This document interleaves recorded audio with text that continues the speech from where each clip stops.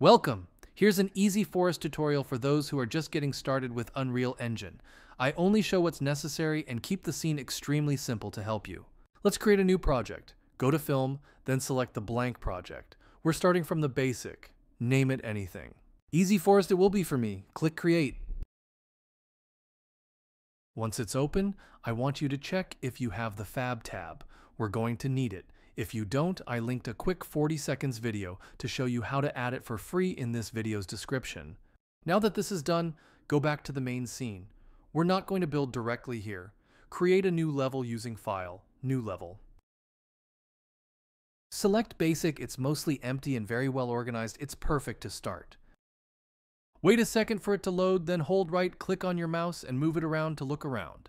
While still holding right click, use W, A, S, and D on your keyboard to move in the scene. You can also use Q and E to go up and down. This level we just created is not saved yet. It could be important to start with this. Just do Control plus S or Command plus S on Mac OS. Now that this is done, let's get started. We need to create a ground for the forest, so just delete this. Click on it to select, then press delete on your keyboard. Now for adding the ground, click selection mode and choose landscape. This is where it happens. This green grid is where the ground will appear. There's some settings available here, but let's keep it simple. Just click Create. Now it appears you have a brush. You can now paint mountains or something like that. But let's not. It would be wiser to start with adding a cube to evaluate scale. You can imagine the cube as one meter cube. Oh, it seems the cube decided to spawn in my ground. I'm temporarily going back to selection mode to select the cube and move it up a little. Now that we got this good looking cube, go back to landscape mode. Let's make this quick. On the left, you got brush strength and brush size. Find something that works for you and slowly build your ground.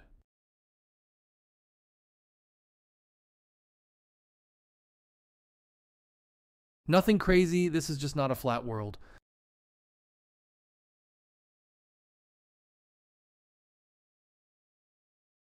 Consider that done. Now go back to selection mode. This error message can be removed just by clicking play, then escape on your keyboard. It appears we're now under the ground, that's fine. Hold right click on your mouse, then hold E on your keyboard to go up. How about adding some grass already? Open bridge. If you don't have that bridge tab, here's how to add it. Control plus spacebar to open the content drawer. Right click, add Quixel content. That's simple. Now let's find a forest ground. Then we'll add the grass and trees. This one looks good, so download it with this button, then add it to your project simply by clicking on this blue button. Go back to your forest level, then this tab is still open. We're going to use it. For that, click on your ground, and after scrolling a little, you will find landscape material. You can simply drag and drop the ground texture on that. Back to bridge now we're adding the grass. This one looks good. Again, download, then add. This time you can close that tab. Control plus spacebar to open the content drawer again, and you'll now see a Megascans folder. It contains everything we downloaded from Bridge. Open it, and you can see we got the ground texture in the surfaces folder and the grass in the 3D plants folder.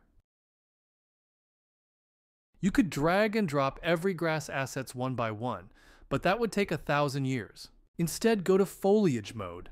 The grass pack we downloaded contains a foliage folder, that's what we see here. Select all that grass, then check them all. Now point at the scene and you have another brush. This one can paint grass. Just click where you want to add it. It takes a few seconds to load and now we got this.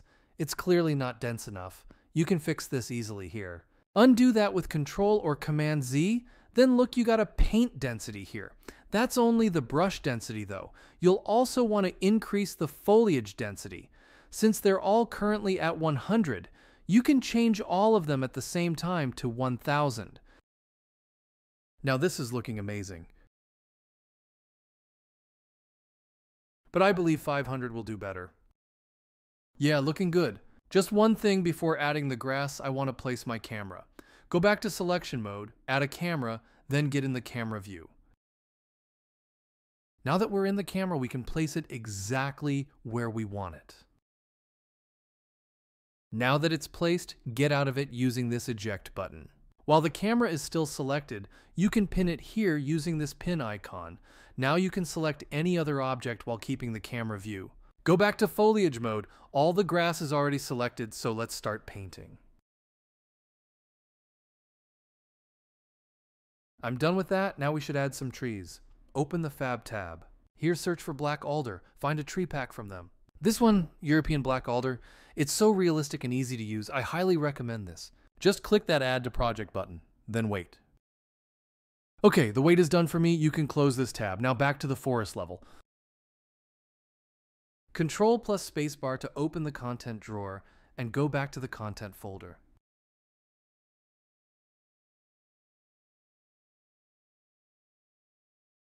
See black alder? That's our trees. Open that folder. Here we have a foliage folder, just like the grass we could paint the trees.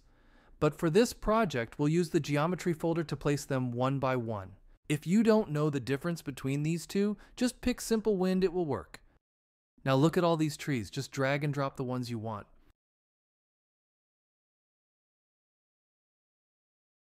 Simple as that. But you gotta be patient, each tree has to load. I just added the entire first line in my scene. Now we got the camera view pinned and many trees to place. Make something that looks great.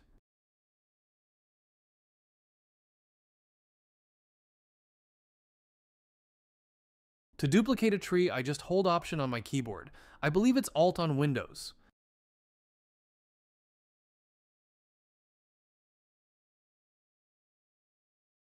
One thing that could help a lot is to get in the camera view sometime, just to have a better view of how it looks.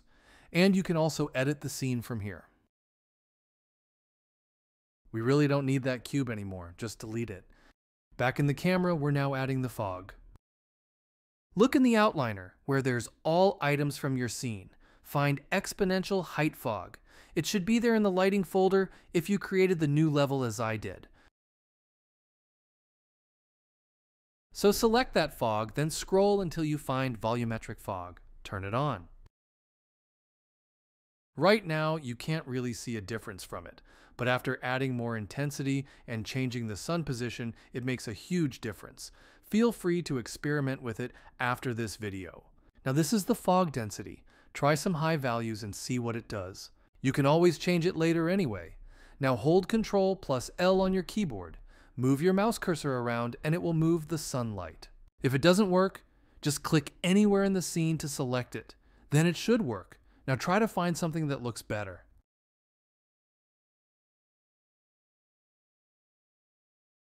I'm also trying different fog density.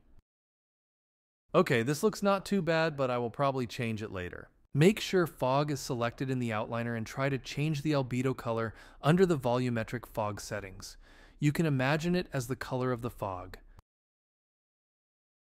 Many possibilities, I'll keep it like this for now. Now find directional light. You can imagine this as the sun itself. You can change its intensity here, try big values and see what it does. Directional light has a color too, try changing it. Now I'm trying different fog values again. I pinned the camera and I'm now placing more trees by duplicating those that I already had.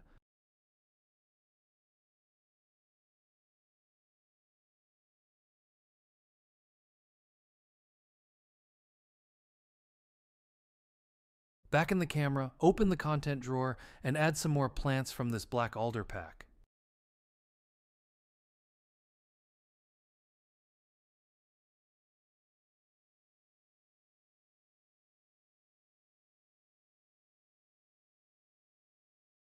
One last lighting detail you might want to know. Skylight. This one has the power to make the entire scene brighter. If you look at the dark places on the trees especially, that's where it's really useful. Try putting a high intensity scale here. But not too much. Skylight also has its own color. Try playing around with those.